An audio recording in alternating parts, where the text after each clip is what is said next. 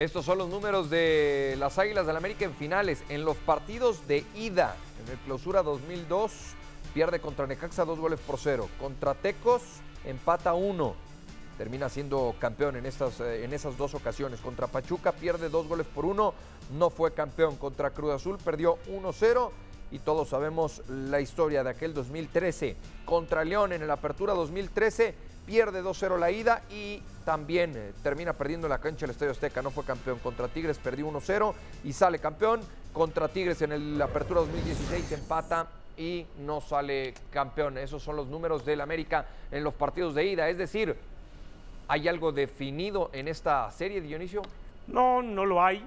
Todo puede pasar pero hace un, momento hablábamos de algunos datos que la gente no le gusta porque las cifras no juegan o las estadísticas no juegan, pero terminan siendo el reflejo de lo que en algún momento ha pasado. De los últimos 12 partidos que América ha enfrentado a Monterrey en el Azteca, América tiene 8 victorias y 4 empates. Entonces la tendencia indica que aunque sea por la mínima y después esto se vaya a tiempo extra penales, América tiene probabilidades y posibilidades de ganar el próximo domingo. ¿Piensas lo mismo, Adal? Sí, en lo absoluto veo algo definido. Eh, creo que pierde la gran oportunidad Rayados. Así como lo hizo con Necaxa, perdió una gran oportunidad de liquidar en la serie. No digo que acá se podía, pero sí podía conseguir una ventaja más cómoda, más amplia. Meterte a la cancha del Estadio Azteca. Eh, a mi entender, hoy por hoy en el fútbol mexicano, los estadios que más pesan. En primer lugar, el Volcán. El segundo, el Azteca cuando juega el América en este tipo de instancias. Pesa. Yo tengo dudas del Volcán, ¿eh? No, no, no, Dionisio. ¿El volcán no pesa? Tengo mi duda.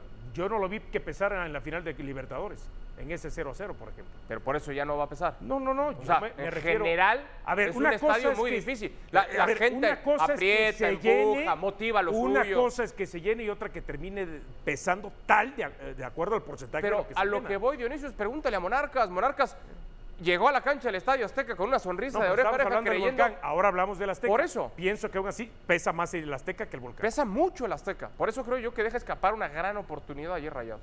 Mauricio Pedrosa, para ti esta ventaja que saca Rayados sí, es definitiva. Depende del equipo. No, de ninguna manera, Tocayo, de ninguna manera. Y los primeros que lo saben son los propios Rayados de Monterrey, es el propio Turco Mohamed. De ahí la desesperación ayer del Turco de ver que si habían inclinado la cancha, pero creo que también esto nos debe llevar a otra reflexión.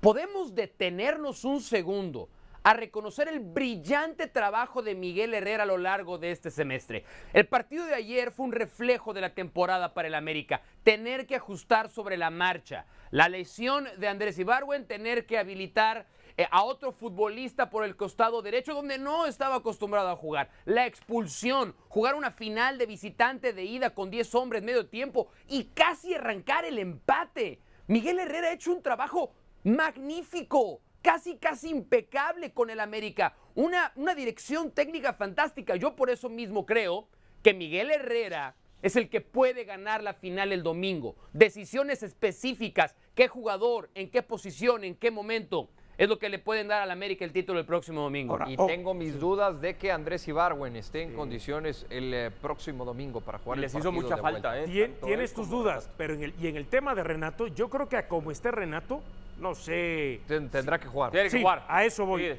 Uno tendrá que, jugar. tiene razón. Dos, el Piojo se ha coronado las dos veces en el Azteca, ¿no? Aunque Cruz Azul cerró administrativamente. Cuando la gente dice es que Mohamed, Mohamed hay que recordar que en su momento se coronó en Toluca de visitante. Así que Mohamed, por lo menos las papas calientes de visitante, a él no le pesan. Hay que ver qué pasa con el cuadro dentro de la casa.